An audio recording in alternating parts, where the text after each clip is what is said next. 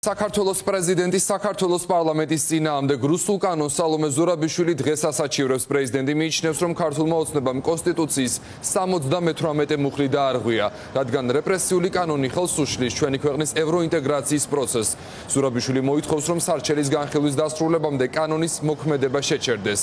რა მოლოდინებია იმ სასამართლოსგან სადაც პრეზიდენტი ევროპაში ვიზიტების გამო კონსტიტუციის დამღვევად გამოაცხადეს. ქეთინა დიბაიძის ჩართვიდან მეტ დეტალს გავიგებთ საკონსტიტუციო სასამართლოში შედის ისტორიული სარჩელები. საქართველოს პრეზიდენტი საქართველოს პარლამენტის წინააღმდეგ მეორე სარჩელის ავტორი კი არის არასამთავრობო სექტორი. დაახლოებით 150 არასამთავრობო ორგანიზაცია უჭერს მხარს. ამ სარჩელს ორივე სარჩელის შემთხვევაში მიზეზიც და მიზანიც არის. იდენტური მოსარჩელები მოითხოვენ რუსული კანონის გაუქმებას რომელიც მათი შეფასებით არღვევს მთელ რიგ კონსტიტუციით გარანტირებულ უფლებებს. არასამთავრობო სექტორის შემთხვევაში საუბარია. კონსტიტუციის არაერთ მუხლზე სიტყვისა და გამოხატვის ხალხის თავისუფლებაზე, გაერთიანების უფლებაზე, პირად ცხოვრებასთან დაკავშირებით კონსტიტუციით გარანტირებულ უფლებებზე, რაც შეეხება პრეზიდენტის სარჩელს, ის საქართველოს პარლამენტს ედავებას კონსტიტუციის 78 მუხლის გამო, რომელიც სახელმწიფო უწყებებს ავალდებულებს ევროპულ და ევროატლანტიკურ სტრუქტურებში ინტეგრაციის ძალის ხმევას. პრეზიდენტი კი მიიჩნევს, რომ რუსული კანონი არ ხვევს 78 მუხლს და ის უნდა გაუქმდეს. პრეზიდენტის სარჩელი, როგორც ცნობილია, ბოლო ინფორმაცია დღეს შევა საკონსტიტუციო სასამართლოში, უახლეს ორ დღეში კი არასამთავრობო სექტორის სარჩელი მოსარჩელის გაიგზავნება. სასამართლოში პირველივე ეტაპზე მოსარჩელები მოითხოვენ წინასწარი ღონისძიების უზრუნველყოფას სასამართლოს მხრიდან და ამ კანონის მოქმედების დაპაუზებას რადგან სანამ მთლიანად განიხილავს ამ სარჩელებს საკონსტიტუციო სასამართლო და მიიღებს საბოლოო გადაწყვეტილებას შესაძლოა გავიდეს წლები რამაც გამოუსწორებელი ზიანი შეიძლება მიაყენოს ქვეყნის ინტერესებს ამიტომ ისინი მოითხოვენ წინასწარი ღონისძიების გამოყენებას სასამართლოსგან რუსული კანონი არათუ ეწინააღმდეგება უბრალოდ ფეხქვეშ თელავს და სპობს თელ რიგ ძირითად უფლებებს, რომლებიც უზრუნველყოფილია საქართველოს კონსტიტუციით.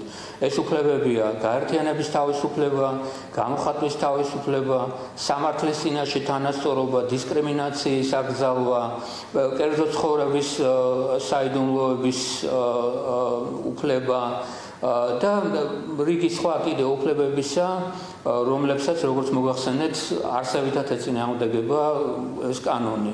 ზოგადად ძალიან მნიშვნელოვანი არის რომ პრეზიდენტი იყენებს ამ უფლებამოსილებას და მიმართავს საკონსტიტუციო სასამართლოში, იმიტომ რომ ეს კანონი არის ძალიან პრობლემური ის ევროინტეგრაციის პროცესსაც აფერხებს, როგორც არაერთხელ ამასთან დაკავშირებით ითქვა და შესაბამისად კონსტიტუციის 78 მუხლის საკითხი დღის წესრიგში შემოდის და ასევე ადამიანის უფლებების სხვადასხვა სფეროს ძალიან დისკრიმინაციულად და ასევე დარღვევის თვალსაზრისით დიდ საფრთხეებს უქმნის როგორც გაერთიანების თავისუფლებას, გამოხატვის თავისუფლებას, პირადი ცხოვრების ხელშეუხებლობის უფლებას და ასე შემდეგ.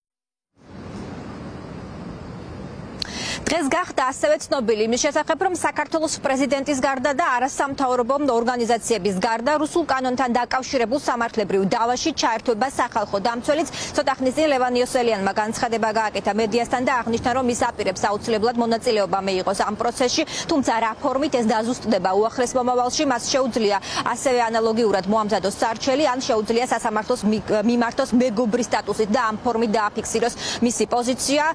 რაც შეეხება სახალხო დამცველის პოზიციას ის ფიქრობს რომ ეს კანონი არ უნდა დამტკიცებულიყო და ხელისუფლებას შეეძლო გამჭვირვალობის უზრუნველყოფა უკვე არსებულ კანონმდებლობაში ნაკლებ მტკივნეული ცვლილებების შეტანით.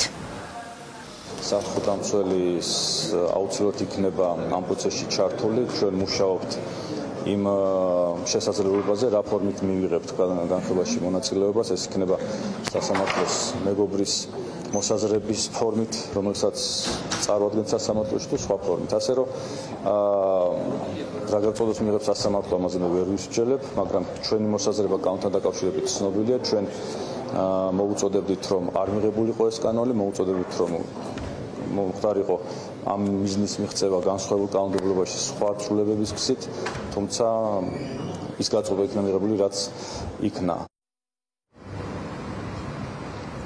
როგორც გითხარით, მოსარჩელეები აპირებენ პირველივე ეტაპზე საკონსტიტუციო სასამართლოსგან მოითხოვონ დაპაუზება ამ კანონის მოქმედების, სანამ სასამართლო მიიღებს საბოლოო გადაწყვეტილებას და თუ კი დადებითი არ იქნება სასამართლოს გადაწყვეტილება წინასწარ ღონისძიებასთან მიმართებაში, არასამთავრობო სექტორს უკვე მზად აქვს კანონი. ადამიანის უფლებათა ევროპულ სასამართლოში გასაგზავნად, რომ ამ ფორმით მოითხოვონ ამ კანონის მოქმედების დაპაუზება იმისთვის, რომ გამოუსწორებელი ზიანი არ მიადგეს ქვეყნის ინტერესებს.